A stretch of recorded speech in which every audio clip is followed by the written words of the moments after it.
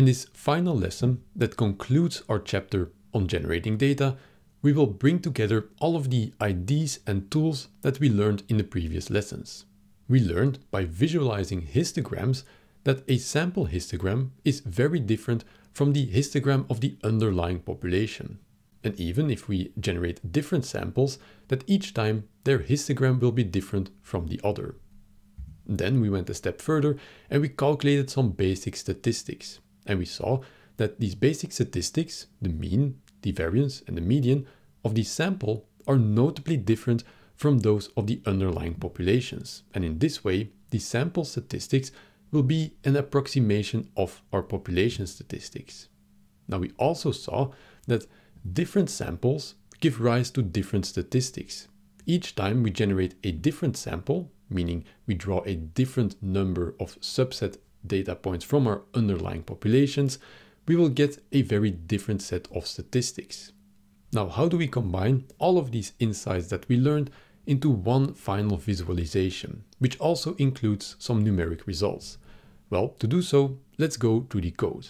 And in fact, we will finish off the code cell that we started last lesson, where we computed all of the basic statistics for both population and sample.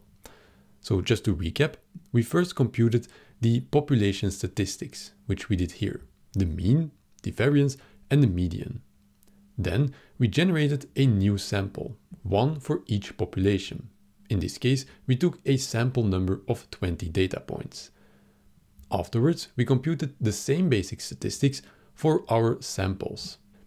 And then we put them all into one data frame to compare them. Now in this lesson, what we will do is we will make visualizations. The first step is to define the figure and the axis in the same way as we did before. In this case, we want a subplot of 2 by 2. So we do plot.subplots with two rows and two columns and the figure size is 15 by 10. And these extra parameters here, they indicate that we want to share our x-axis and our y-axis between plots.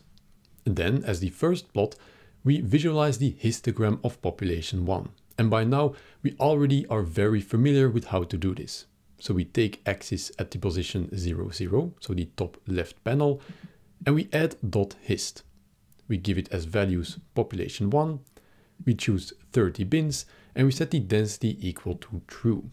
Now the rest of the parameters are basically just layout parameters. The color of the bars, the edge colors, the transparency and so on. And now we want to visually add the basic statistics that we computed earlier in this cell, the mean, the variance and the median on top of this histogram. So how will they do this? Well, for the median and the mean, this is straightforward because they are just singular values. For these, we are going to draw a vertical line at the position of their value. For instance, for the mean, we take this panel, the top left panel, and we add an x v-line or a vertical line.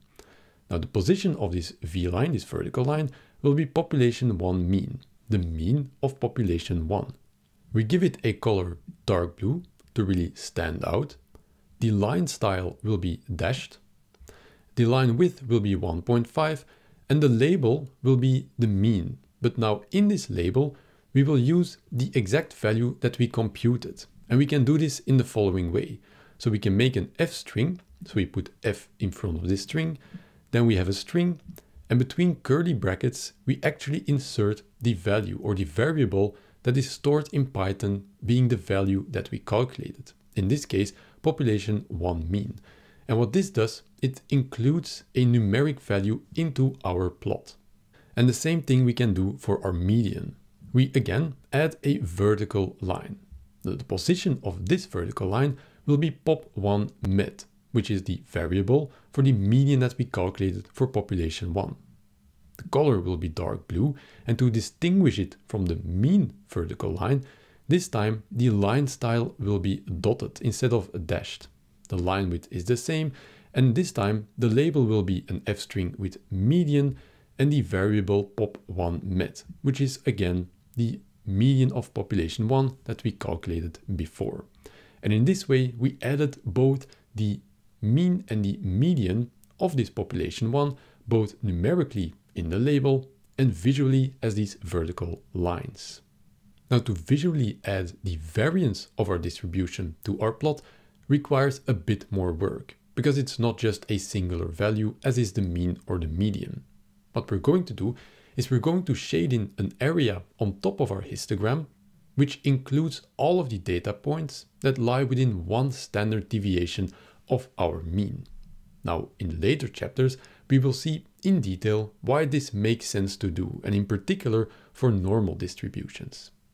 Now, making this area and shading this in is all done in this line of Python code. And again, I'm not going to go into detail in what it exactly means. If you do want to see this, I gladly refer you to the corresponding video on the YouTube channel Code for Data Science, where I go through these notebooks line by line. Then we set the title population 1 and we add a legend. And this legend is important because again, it includes the numeric value of our figures because in the labels to which this legend looks, we added the actual values that we computed for our basic statistics. And also for our variance of our distribution, we added the rounded standard deviation of our population. And we can do exactly the same for the histogram of population 2. The only difference between this block of code and this block of code is that here we work with population 2. But also remember that in the labels we have to change population 2 because these are the values that we computed for population 2.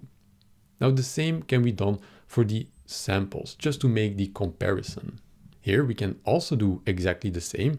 We make the histogram for our sample. We add a vertical line for the mean, which is dashed.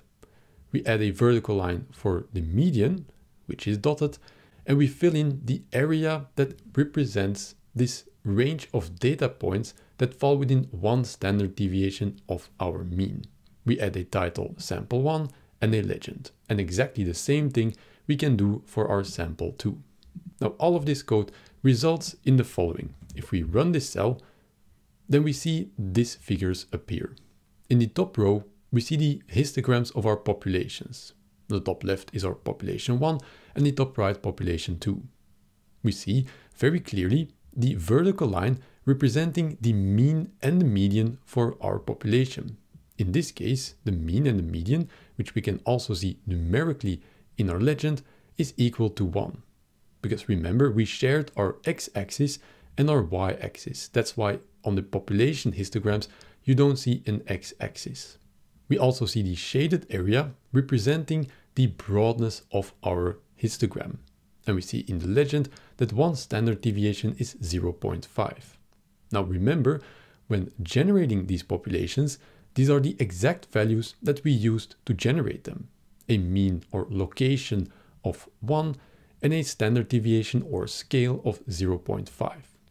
Now, population 2 is almost exactly the same, but only the mean is shifted to the right with 0.5. And in the bottom rows, we see the sample histograms, and the same observations still apply.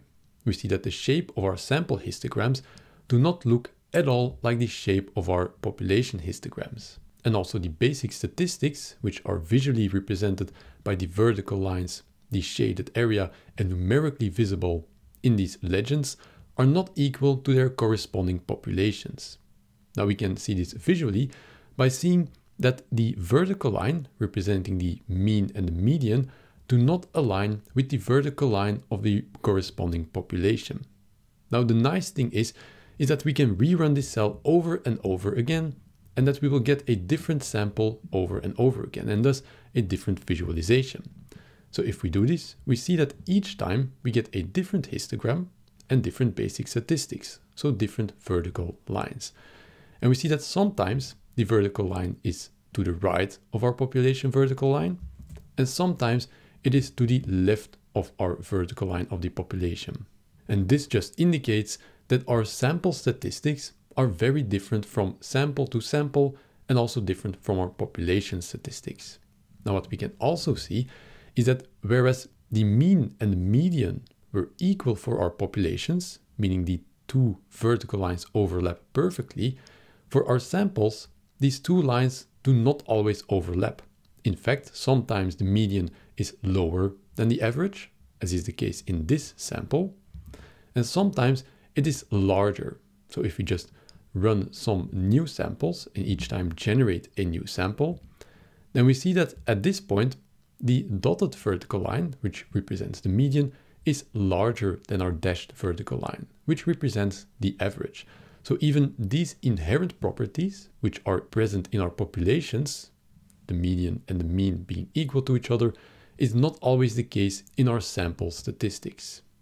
What we can also learn from this exercise, and which will be very important for the next chapter, where we will learn about the central limit theorem, is that each time we generate a new sample, we will get new basic statistics, for instance the average. Each time we rerun this cell, we get a different number. So you can imagine that if we keep generating new samples and we collect the average for each sample and get them all together, they themselves will form a distribution. So we will get a distribution of sample statistics, but more on that in later chapters. What we can still do here, and what I advise you to do for every notebook, is to play around with the figures. For instance, we learned already that if we make the sample size larger, that the approximate statistics will become more in line with our population statistics. In this case, if we keep generating new samples, now with a sample size of 200 instead of 20, we see that our sample statistics, so our lines on our sample histograms, will align more often with the same lines on our histogram of our populations. And this comes back to the fact that the best strategy to get your approximation of your sample statistics more in line with the population statistics is to gather more data. And therefore, we conclude that more data means a better approximation of the basic statistics. Now we can show this in a more impressive way, in a more conclusive way, by taking our simulation tool to the next level. And that is how we will end this chapter.